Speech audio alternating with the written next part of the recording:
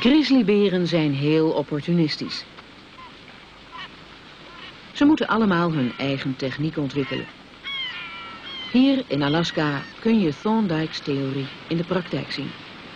Beren van alle mogelijke leeftijden proberen in deze rivier zalm te vangen.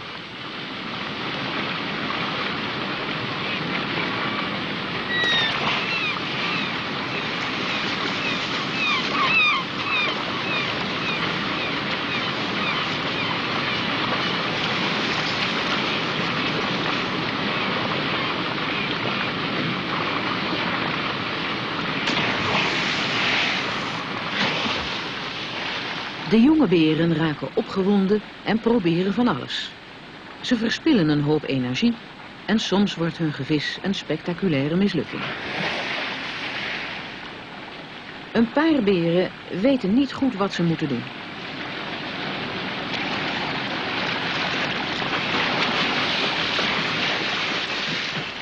Maar sommige technieken werken beter dan andere.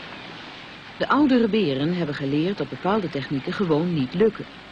Ze hebben geleerd stil te blijven zitten en voorbij zwemmende zalmen uit het water te scheppen. Deze grote beer staat als een rots in de stroming en wacht tot er een zalm in zijn bek zwemt.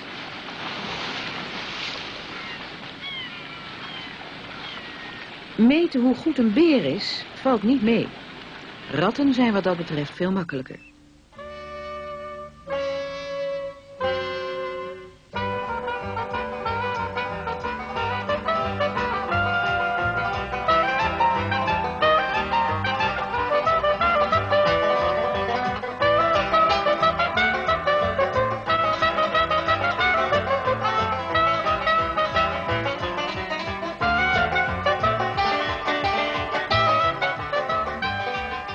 Thorndike's bijdrage aan het bestuderen van gedrag was de nadruk die hij legde op het meten.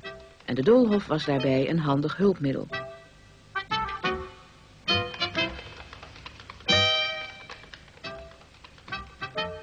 Toch gebruikten in het begin van deze eeuw de meeste psychologen de doolhof niet om gedrag te meten, maar om de diepste beweegredenen van de geest te onderzoeken.